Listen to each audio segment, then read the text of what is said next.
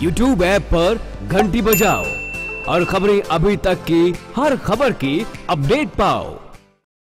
CM Jairam Thakur और उनके cabinet मंत्री पहली बार अपनी महँगी गाड़ियों को छोड़कर टेंपो में सफ़र करने निकले।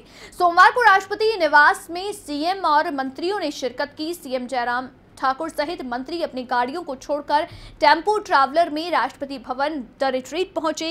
ये पहला मौका है जब खुद सीएम अपनी गाड़ी में न बैठकर टेंपो ट्रैवलर में सफ़र उन्होंने किया। सीएम जयराम ठाकुर ने कहा कि सरकार नया करना चाहती है।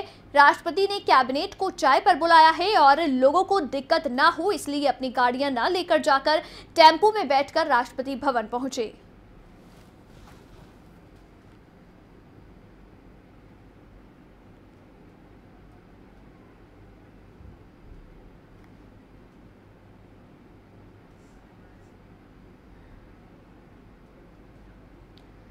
और खबर पौंटा साहिब से है, जहाँ पर जंगलों में आग लगने का सिलसिला लगातार जारी है। देर रात भी भंगानी इलाके के भंगानी बिट और अंबोया बिट के जंगलों में आग लग गई। आग इतनी भीषण थी कि जल्द ही इलाके में आग पूरी तरह से फैल गई और वन और अग्निशमन विभाग की टीम ने कड़ी मशक्कत के बाद आग पर काबू पाने में कामयाबी हासिल की। फ़िलहाल आग से होने वाले नुकसान का अनुमान नहीं लग सका है। तो तस्वीरों में आप देख सकते हैं कि कितनी भयंकर ये आग लगी और आपको बता दें कि भंगानी बिट और अंबोया बिट की जंगलों में आग लगी है। आग लगने का सिलसिला लगातार जारी है और ऐसे में अग्निशमन विभाग ने कड़ी मशक्कत के बाद आग पर काबू पाया।